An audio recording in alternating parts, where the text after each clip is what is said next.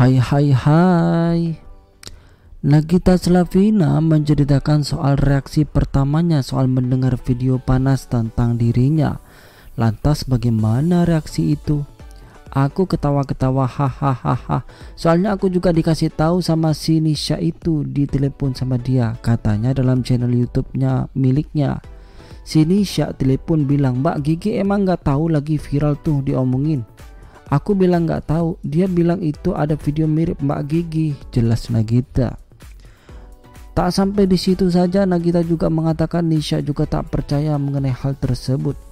Ya si Nisha juga ketawa-tawa soalnya kan dia juga nggak percaya kalau itu aku paparnya lagi. Raffi dan Nagita juga mengingatkan untuk lebih berhati-hati terhadap berita hoax. Jangan sampai terprovokasi bebernya. Nah bagaimana komentar teman-teman soal berita ini? Jangan lupa subscribe dan komentar di bawah ini ya guys oke okay? thank you guys